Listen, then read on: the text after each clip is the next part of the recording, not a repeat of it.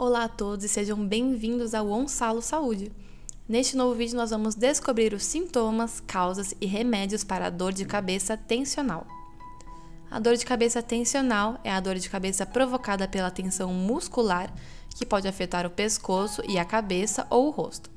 Essas dores podem ocorrer em qualquer idade porque elas não são causadas por doenças e, de fato, são bem comuns. Estima-se que cerca de 90% das pessoas tenham sofrido em algum momento de suas vidas com isso. A dor de cabeça tensional é causada pela tensão ou rigidez dos músculos na área, isso pode ser devido a várias causas. Causas psicossomáticas, como estresse ou situações que criam ansiedade, falta de sono. Não dormir adequadamente provoca fadiga, que pode causar dores de cabeça. Má postura Estar muito tempo na mesma posição faz com que os nossos músculos fiquem rígidos e tensos, como os do pescoço, que tendem a ficar tensos, segurando a cabeça o tempo todo para apoiá-la.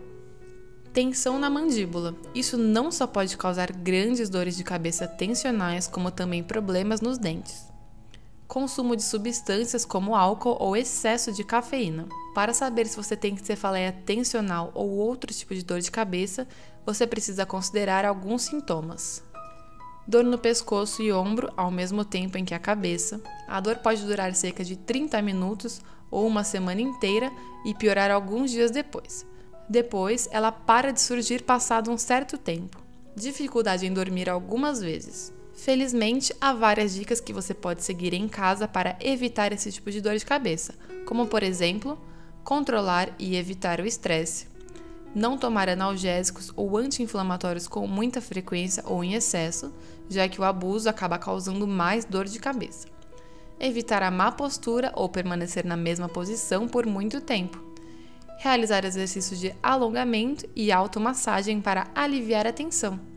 Este foi o vídeo sobre os sintomas, causas e remédios da cefaleia tensional. Se você tem alguma dúvida, deixe nos comentários. E se você gostou do vídeo, não se esqueça de curtir e se inscrever no canal do Onsalo Saúde. Até a próxima!